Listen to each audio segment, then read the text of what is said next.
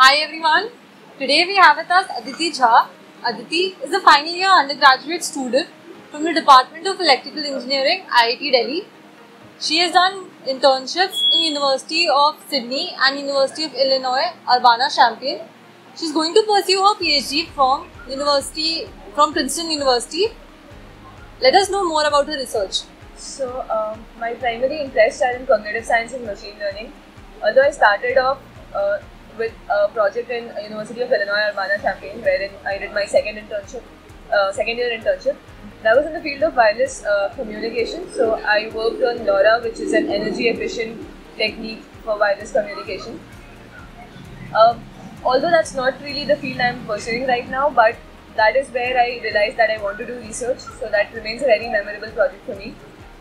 After that, I started working on a project with Professor Sumeet Agarwal here uh, in the field of cognitive science and machine learning. Uh, that uh, gradually evolved into my bachelor's thesis, so I started working on it in my third year and I'm still pursuing it. We got a paper out of it as well.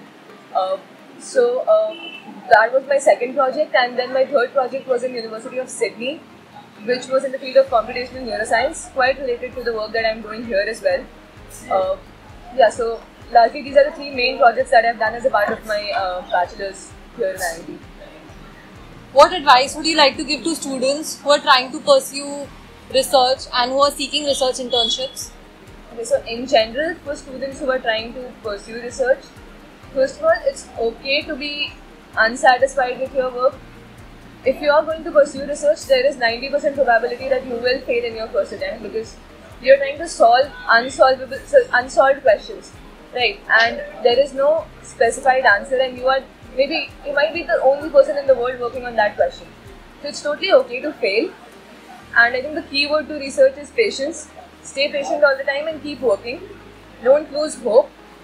Uh, for students who are particularly interested in pursuing research internships, first of all, do not spam so I think there are a lot of internet posts from professors in the European and the US universities talking about how Indian and Chinese students are filling up their mailboxes. So do not spam. I realize in your second year specifically, you might not be sure about what field you want to work in.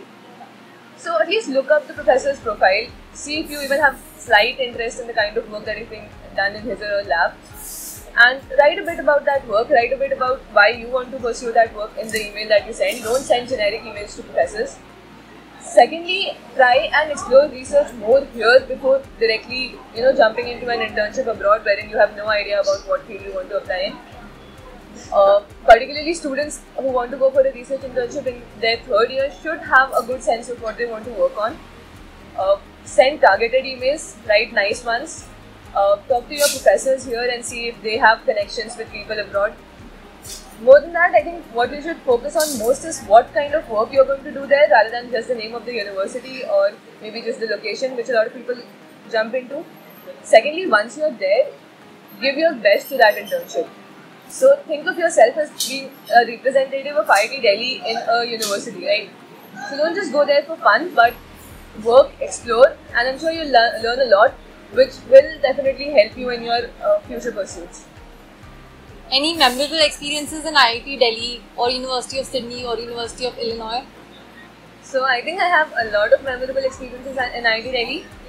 If we are just talking about research, I think the one project that I've done for the last one and a half years with Professor Sumeet Agarwal has been like a very good experience for me because that is where I got to know what I want to do further in my life. And uh, yeah, I mean, I got to interact with a lot of uh, people who were working in similar fields here in this uh, University of Sydney, etc.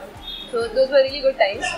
Uh, I'll just share a small story from uh, University of Illinois while I was interning there. So just to give a reflection of their culture of research. So they wanted to sit together. So the entire research group wanted to sit together and brainstorm ideas for uh, projects that they wanted to do in the couple of months or next year or so on. So how they planned to go about it was they thought of going to a nice picnic spot which was next to a lake and they decided that they'll barbecue there, have lunch together, and then they'll sit and brainstorm ideas. So they sort of associate an element of joy to research, which is very rare to find in IIT. And that's one thing that struck me and it still stays with me, is how people enjoy research to the extent that they are ready to like share a lunch lunch event with research ideas, something which seems very remote to us. Uh, from the University of Sydney. I think Sydney in general is a very beautiful city, and I found people very very friendly there. And I was I, think that that will stay.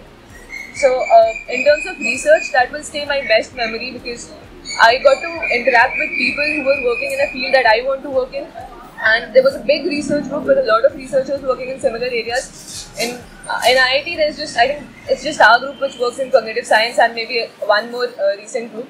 But there I got to work, got to work and got to talk to a lot of people who were working in the field, and that was a very productive experience for me. Thank you, Aditi, for your time. Thanks for having me.